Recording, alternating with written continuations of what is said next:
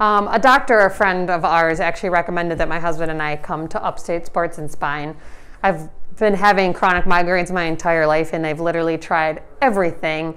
And the only thing that has almost pretty much gotten rid of my migraines is an upper cervical adjustment. Um, I think at first people don't realize that this is completely different than traditional chiropractic work. It's very precise and that has helped me tremendously and it's improved my quality of life. I used to get migraines every two to three days where I couldn't move, I couldn't see, I would throw up all day.